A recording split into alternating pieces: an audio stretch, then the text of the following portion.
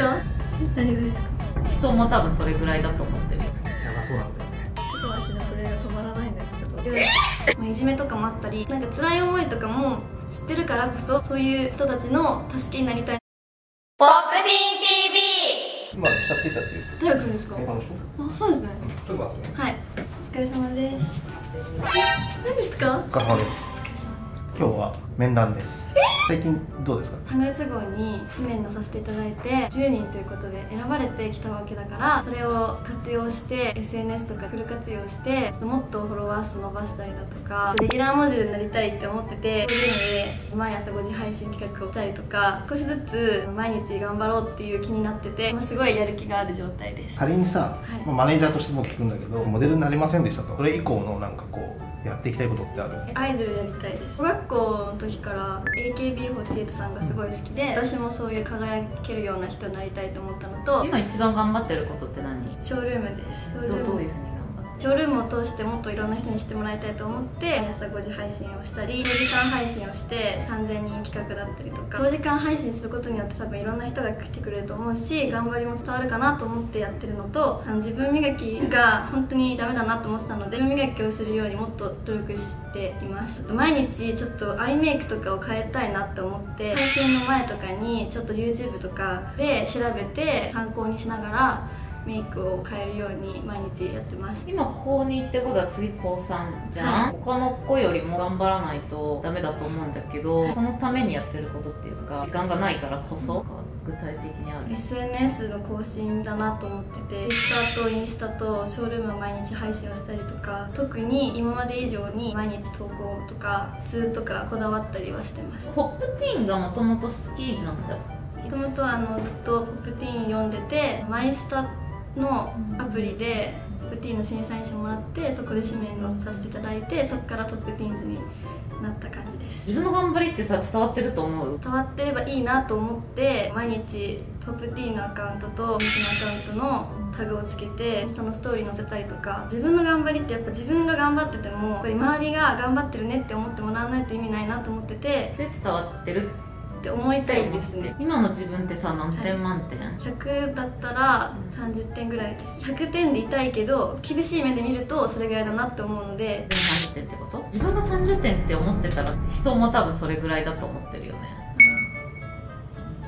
今のさ自分の一番の強みは何？やっぱ TT の子って多分専属取ったりレギュマに比べて編集部と直接やり取りっていうのが多分なかなか多分がないと思うからこれだけは負けないじゃないけど。笑顔だったりとか低身長だけどでもあの体重が重いわけじゃなくて今3 8キロなんですけど体重もちょっと維持してはいるんですよ。ここが強みかなって思います。38キロしかないのか。なかなかじゃあ真似するの難しいね多分世の中にそれぐらいの高校生で多分38キロの人ってそうそういないからトップだと割と低身長の子すごくいるからみんなすごい低身長を生かしたいって言うんだけど、でも正直低い子もいれば高い子もいて、ヒールとか履いてスタイルをよく見せられるようにしたいなって思ってます。みんなヒール履いてるよね。まあそうですけど洋服の見せ方だったりとかを考えてできたらいいなって思います。今の専属だったりここは絶対負けてないっていう明るさです。明るさだけで言ったらユナタコなんまあてすそうですよね。よく喋るんですよ。語彙力がなくて伝えるとかなんかそういうのは下手くそなんですけど。トーク力があるうーん、まあ、ないよねって言われるので。でも語彙 語彙がない語彙がないんですよまあ、今日はこう面談のことでこれ話はしてるけど編集に対しての自分の思いとかってなんか伝えてみたらこうやって話する機会ってそんなないはずだから。ずっとプティーン読んでて今まで本当に自分おしゃれとかメイクとか全然興味なかったんですけど毎月毎月変わっていくモデルさんたちがいて私もそういう輝けるような人になりたいし中学校の時とかも不登校になったりとか、まあいじめとかもあったりなんか辛い思いとかも知ってるからこそそういう人たちの助けになりたいなっていうふうに思ってます。そういう多くの人に笑顔を届けられるような人になりたいなって思います。なんか原点に帰りました。なんでポップティーンになりたいんだろうなっていうのを今改めて考え直したら今までそういうことがあったからなりたいんだなっていうのに改めて気づいて涙。自分はこうやって今毎日学校にも行けるようになってるし人って変われるってことをポップティーンを通して伝えたいです。TT やっててだと思うんだけどなんかやっぱりその継続する努力ってやっぱりすごい口ではなんかやりますって言うんだけど大変で思ってる以上に。さらにそれが日がこう増すごとにどんどんどんどん変課題もどんどん増えてくるしど初めてそこの立場に立って分かる苦しさみたいなのってやっぱりポップってすごくあって。でその中でまた負けるか勝ち残れるかっていう世界だからで大変なところを目指してるっていうところの、まあ、なんか自覚だったりとかそういうのがなんかあるのかなっていうところでちょっと今日はなんか話してみたいなっていう。まあここに来た理由っていうのはそのカラコンの打ち合わせをするとかさ、いそういう話だったけどさそのために準備してきたことってあるの？カラコンつけてきて打ち合わせなので大人っぽいコーデにしたくて。そこも意識できてるんだ。したつもりです。メモは取らないんだね。持ってきましたでも。出せなかった。出します。私も 書いてもらった方がいいんじゃないですか。ペン持ってきた。ここにいろいろ書いてください何ですかなんですかおめでとう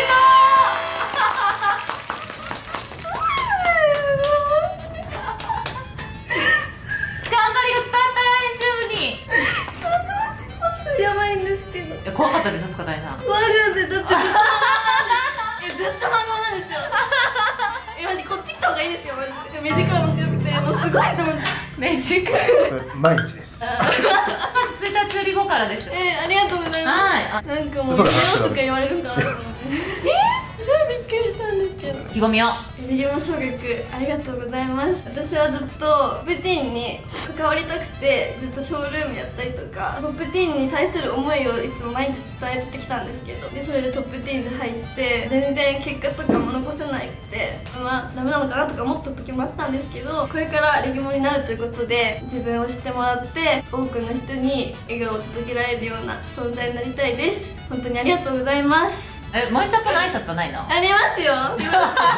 改めて前前チャポチャポ前チャポです。キュンよろしくお願いします。全力で頑張りましょう。頑張ります。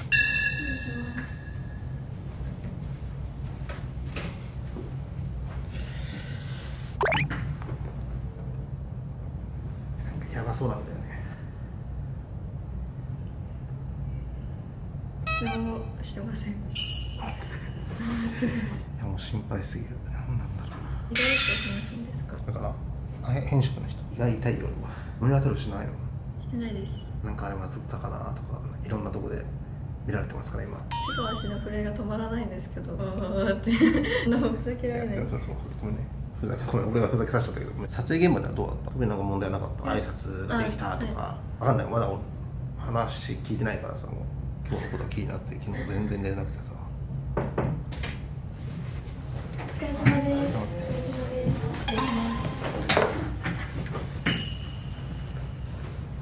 何かアンコロが何したの？何もしてないです。あもうしてない？何も悪いことは何もしてない。です悪いこと何もしてない？なんかでも言ってないことあるんじゃな。いショールーム？とかさ撮影の時多分何回か呼ばれてるじゃん？これ踏まえてさ。よよよく考えていいよショールームは頑張ってる？はい。どういうふうに頑張ってる最初の YouTube 撮影の時とかカメラ見て話せなかったんですけどその日終えた時にちょっとやばいなと思っちゃってこのショールームのイベント始まってカメラを見て話せるようになるために人と目を合わせるのもあんま得意じゃなかったのでそういうのも慣れさせるために毎日配信最近して配信ではさ手応え感じてる？どんどんフォロワーさんも増えてきてはい。報告しないことない。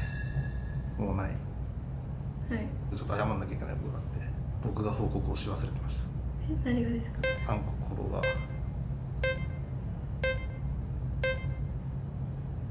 レギモ昇格決定しました。おめでとう。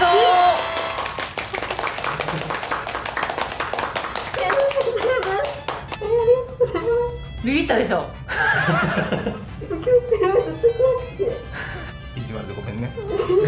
月1日売りからレギモっていう枠への昇格になるんだけど正確に言うと、えっと、4月1日から、えっと、レギモと、まあ、同じなんだけどミディアムモデルってミディモ？でミディモっていうのはイコール中学生っていうこと？でレギモっていうのはイコール高校生以上のモデル？だから呼び方は変わるんだけど立ち位置的には同じ？でそういった意味でのミディモ？ミディモへの昇格？一応編集部にもやる気伝わったし短い期間で目立ってきたというか多分配信頑張ってたのもあると思うんだけどこういう部分っていうところを評価してあの中で誰を挙げるかっていうところでなんかアンコロが選ばれた。ありりがとうございます。ここからがスタート。要は頑張りを認めてもらえたってことは頑張れる子だと思って採用してるのでそこはちゃんと頑張るって約束してほしいです。はい。一番さ応援してくれてるの誰？お兄ちゃん。あお兄ちゃんなんだ。お兄ちゃん すごい応援してくれててすごいたくさんお友達にもこう声をかけてくれたりとか家族全員が応援してくれてでお母さん。今日もお母さんにちょっと何やらかしたのみたいなすっごい言われたんですよ。なんかお母さんたちからの信頼もなくなっちゃうかなと思ってすごい不安でお母さんから。のそう何しちゃったかなと思ってはい。もしもし？うん。水もに昇格いたしました。本当？えー、それの報告だったの？そう今スピーカーにしてる。え？今おめでとう。ありがとうえ、終わり？あお母さんはい。あ編集長の塚谷ですあ、どうもいつも。山本です。あお世話になってます何やらかしちゃったんだろうってずっとすごい不安な顔でそうです。家族中みんな不安でした。ありがとうございます。頑張ります。よかったねよかったですよかった。動画を最後まで見てくれてありがとうございますチャンネル登録グッドボタンコメントおすすめ動画よろしくお願いします。次の動画も見てねバイバーイ。